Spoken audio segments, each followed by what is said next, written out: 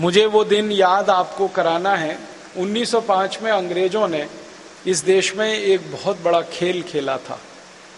अंग्रेज़ों का एक अधिकारी इस देश में हुआ करता था, उसका नाम था करजन। करजन ने बंगाल का बंटवारा कर दिया था। उस जमाने का जो बंगाल था, वो आज के ज़माने से बहुत बड़ा था। अभी का हमारा जो पश्चिम बंगाल है, वो पूरा का पूरा, अभी का हमारा जो बिहार है अभी का हमारा जो उड़ीसा है, झारखंड है, इतना बड़ा इलाका था बंगाल का।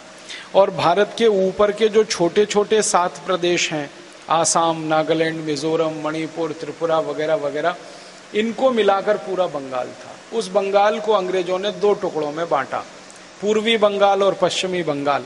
और ये बंटवारा हिंदू और मुसलमान के आधार पर हुआ। पूर्वी बंगाल अंग्रेज़ों ने मुसलमानों को दे दिया, पश्चिमी बंगाल हिंदुओं को दे दिया। ये करजन नाम की एक अधिकारी ने 1905 में किया था। माने संप्रदाय के आधार पर भारत बटे, संप्रदाय के आधार पर इस देश के राज्यों का बंटवारा हो, वो अंग्रेज़ों ने शुरू किया था 1905 से। लेकिन हमारे क्रांतिवीरों की ताकत, उनका पराक्रम, उनका हौसला, उनकी दूरदृष्टि, वो इतनी काबिल तारीफ़ है कि अंग्रेज़ों की इस चाल को उन्होंने नाकाम कर दिया। जैसे ही अंग्रेज़ों ने 1905 में ये बंटवारा किया हिंदू मुसलमान के आधार पर, लाला लाजपत राय, विपिन चंद्रपाल लोकमान्य बाल गंगाधर तिलक, ऐसे हिंदुस्तान के सारे क्रांतिकारी एक साथ एक मंच पर इकट्ठे हो गए। कहाँ लाला लाजपत राय उत्तर भारत के थे? कहाँ लोकमान्य तिलक पश्चिम भारत के थे? कहाँ विपिन चंद्रपाल पूर्वी भारत के थे? कहाँ अरविंदो घोष पूर्वी भारत के थे? ये सारे क्रांतिकारी एक साथ इकट्ठे हो गए। उत्तर, दक्षिण, पूरब, पश्चिम।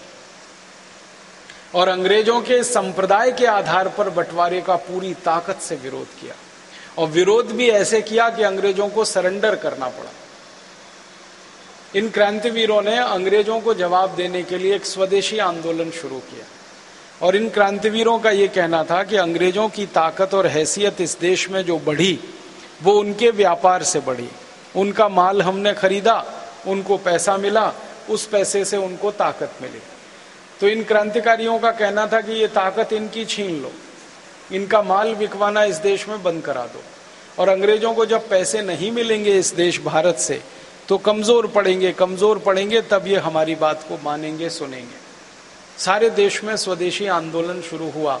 1905 से 1911 छह साल में स्वदेशी आंदोलन में एक करोड़ चौबीस लाख से ज़्यादा कार्यकर्ता इकट्ठे हुए।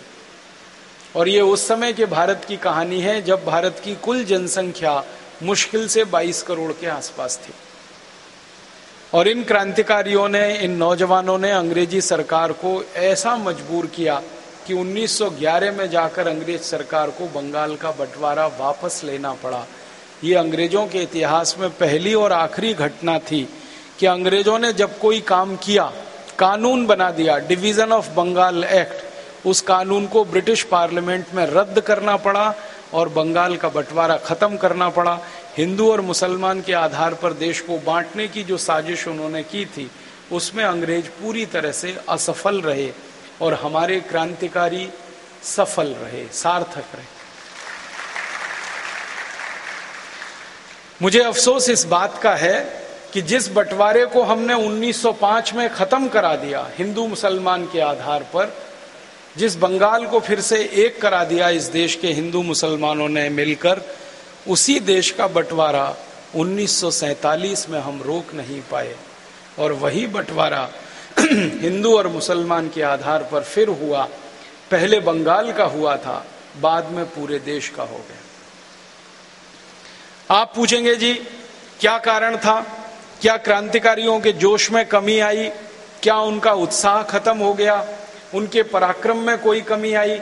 ऐसा क्या हो गया कि 1905 से 1911 में हम अंग्रेज़ों की चाल को नाकाम करें और 1947 में अंग्रेज़ों की वही चाल कामयाब हो जाए? उसका एक ही कारण था कि 1905 के जो क्रांतिकारी इस देश के लिए लड़ रहे थे, उनके मन में सत्ता और सिंहासन का कोई लोभ नहीं था, कोई लालच नहीं था। उनको ना सत्ता चाहिए थी, ना सिंहासन चाहिए था इस देश का। वो तो लड़ रहे थे किसी आदर्श की पूर्ति के लिए, किसी उद्देश्य की पूर्ति के और आदर्श और उद्देश्य ये था कि भारत देश अखंड रहे, ये टूटे नहीं। किसी भी स्तर पर यह देश का बंटवारा ना हो। तो आदर्श और उद्देश्य जब ऊँचे होते हैं तो ईश्वर भी उसमें मदद करता है। शायद ईश्वर ने हमारी मदद की। शहीदों के आदर्श बहुत पवित्र थे, बहुत ऊँचे थे। और 1905 का बंटवारा टालने में हम सफल रहे। लेकिन 1947 तक आते आते इस देश में महापुरुषों के चेहरे बदल चुके थे। 1947 तक आते आते कई महापुरुषों के मन में सत्ता और कुर्सी और सिंहासन का लोभ जग गया था।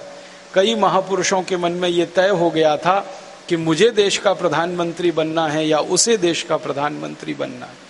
ये सत्ता और सिंहासन का लोभ जब चढ़ा तो भारत के बंटवारे को हम रोक न सके। एक ही देश में दो दो लोगों ने जब दावेदारी ठोक दी कि मैं भी प्रधानमंत्री हो सकता हूँ, मैं भी प्रधानमंत्री हो सकता हूँ, उस प्रधानमंत्री पद के लालच ने इस देश को बंटवारा करा दिया।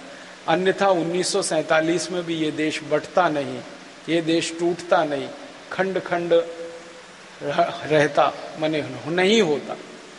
सत्ता और सिंहासन का लालच आया उन्नीस सौ सैंतालीस में। अपने अपने तरीके से लोगों ने दावेदारी प्रस्तुत की और वो दावेदारी इतनी खतरनाक थी कि अंग्रेज़ों को समझ में आ गया कि जिनके मन में ये लोभ है, अब उनको ही हम अपना इस्तेमाल करें कठपुतली की तरह से तो वो ही हमारे बंटवारे को स्वीकार करेंगे और वही हुआ इस देश। दो लोगों की प्रधानमंत्री पद की दावेदारी ने, दो लोगों की प्रधानमंत्री पद की जिद ने इस देश के दो टुकड़े करा दिए। एक देश में दो प्रधानमंत्री हो नहीं सकते। दो देश में दो प्रधानमंत्री हो सकते। उस चक्कर में यह देश बटा। नहीं तो बटता नहीं, उन्नीस सौ सैंतालीस में भी नहीं बटता।